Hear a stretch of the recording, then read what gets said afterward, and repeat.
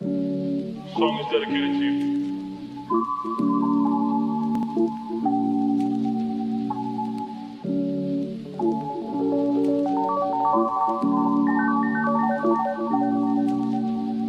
Look at she car, she car,